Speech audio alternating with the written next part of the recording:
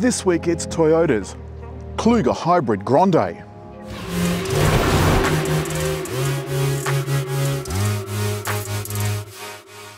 In the few years since we last tested the first car, not a lot's changed. There's been updates here and there, but the big one was the dropping of the V6. It was incredibly thirsty, as beautiful as it was to drive. This is the 2.5 hybrid, but there's also a 2.4 turbo four cylinder. The looks are still pretty conservative, but look, that means that it appeals to a wider bunch of people. And of course, every single Toyota Kluger is seven seater. I'd rather an option to get rid of the third row. And it's only when you're standing beside it that can tell how really huge this is. The back seat, positively capacious, I'll show you that room in a minute. Uh, and look around the back, this 80,000 plus on-road car has an electric kick to open tailgate, the keys in the car, because I've got the air conditioning going because it's still a fairly warm day.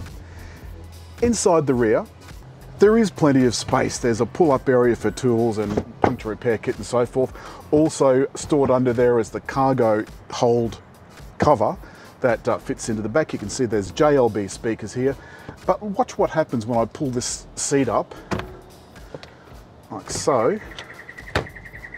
Most of the cargo area is chewed up by that third row of seats. And of course, it does take up a bundle of space under the floor as well. I just can't make a case for a third row of seats if you don't have a big family. I'm not quite sure how I feel about white upholstery, but you know, there you go.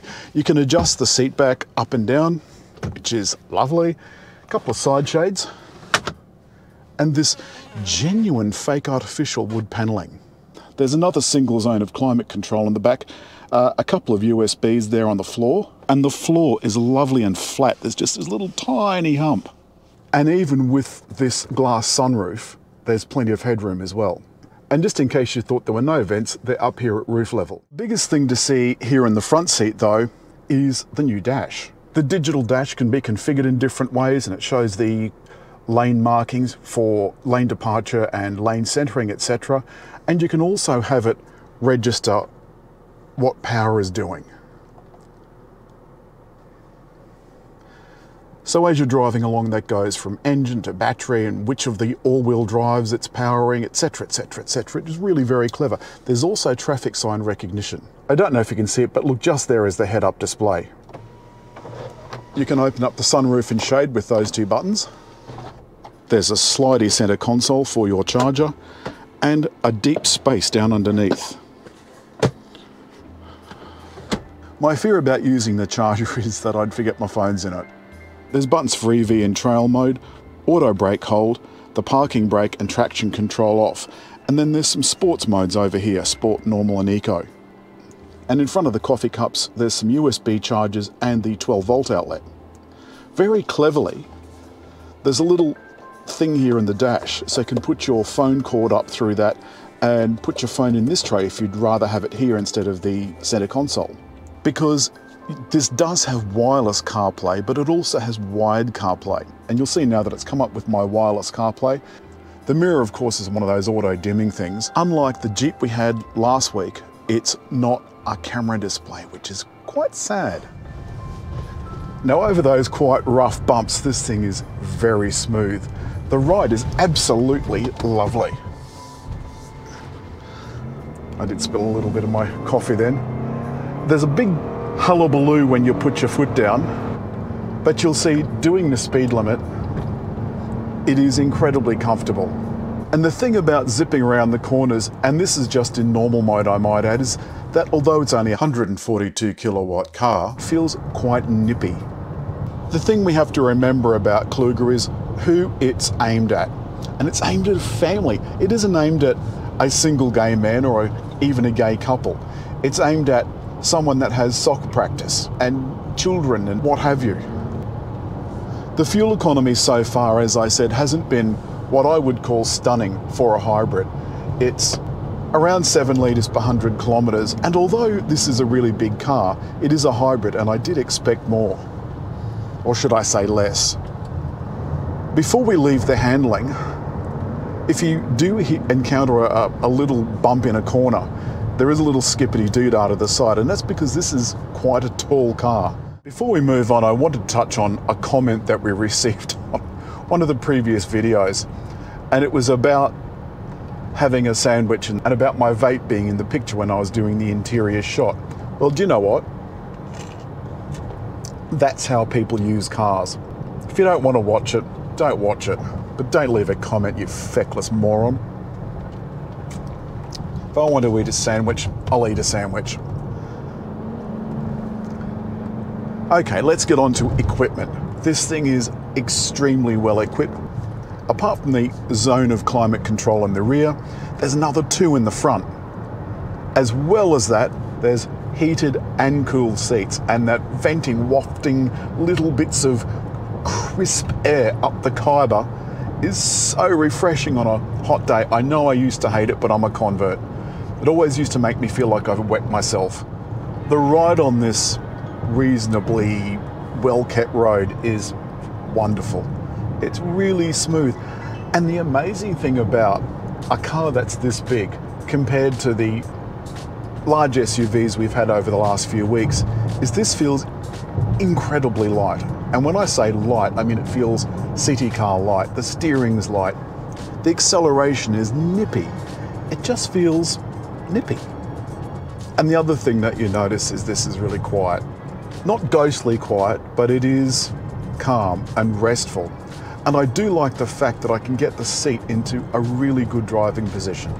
I've just got it set, you know, so there's quite a lot of space between my head and the top. I could have a little bit higher, but then it's a little bit difficult to get in. Accelerating onto the freeway. Look, it's a, a leisurely affair, and it's a CVT. I know you do get quite a lot of boost from the hybrid system, but look, it, it's not built for speed. It's not built for quick acceleration. It's built for comfortable highway cruising. Now that I've hit 100, I'm going to hit the cruise control. Now the cruise control is set. Let me just bring it up to 110. There we go. I've gone into the settings and I've activated all of the safety gear. There's lane keep assist and there's lane trace assist. And that's keeping me centered within the lanes and I can see on my graphic on the windscreen that the white lines have blue lines outside them and that means my lane trace assist is working.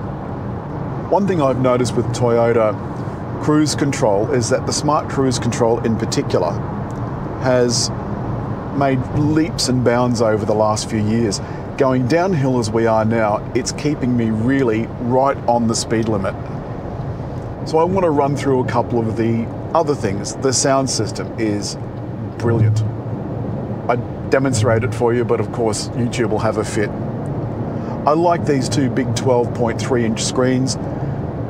I, I think that's the least you can expect in a car that costs this much.